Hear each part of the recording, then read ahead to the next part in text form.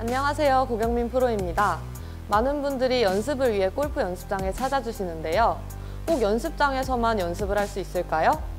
실내에서도 효과적으로 연습을 할 수 있습니다.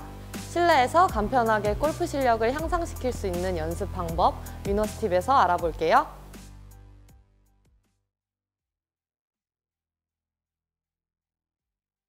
필드에서 퍼팅을 하다 보면 중요한 순간에 말도 안 되게 짧은 퍼팅이 나오거나 혹은 너무 긴 퍼팅 나온 경험 종종 있으시죠? 이런 경우는 공을 홀에 넣어야 한다는 압박감 때문에 평소의 리듬감을 잃기 때문입니다. 집에서도, 집에서도 충분히 일정한 리듬감의 퍼팅 연습을 할 수 있는데요. 저랑 연습하러 가볼까요?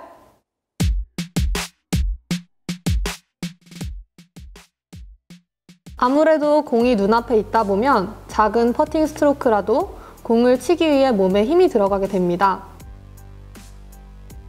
이럴 때는 눈을 감고 퍼팅을 하는 연습이 도움이 됩니다.